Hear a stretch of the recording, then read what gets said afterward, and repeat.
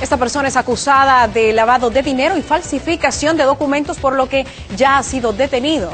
¿De quién hablamos? Del alcalde de Chinautla. La fuerte lluvia no fue impedimento para que la Fiscalía contra el lavado de dinero del Ministerio Público y agentes de la Policía Nacional Civil coordinaran la captura de Arnoldo Medrano, actual alcalde de Chinautla, señalado de lavado de activos y uso de documentos falsificados. Elmer Sosa, viceministro de Seguridad, dio a conocer el modo de operar de Medrano dentro de la alcaldía. Hace una investigación que dura aproximadamente un año, donde se establece eh, que, que, esta persona pues pudo haber eh, utilizado algunas empresas para poder desviar dinero de la municipalidad de Chinautla.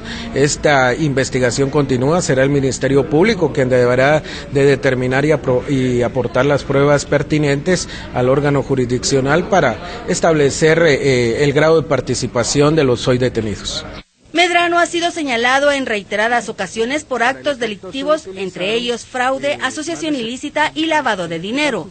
Durante la serie de allanamientos también fueron aprendidos Catalina Gómez Muyús, de 44 años, Eduardo Francisco Castellanos Castillo, de 52, y Ligia Anabela Alvarado Batres, de 47, acusados del delito de falsedad ideológica.